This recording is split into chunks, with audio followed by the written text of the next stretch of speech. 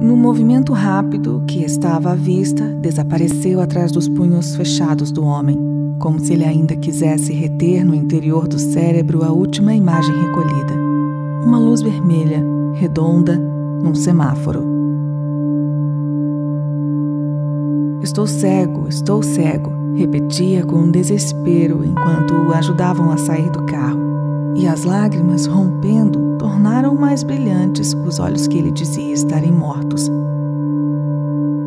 O cego ergueu as mãos diante dos olhos, moveu-as, nada. É como se estivesse no meio de um nevoeiro.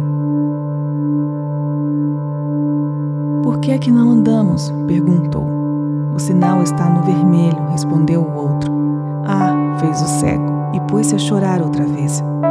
A partir de agora deixara de poder saber quando o sinal estava vermelho.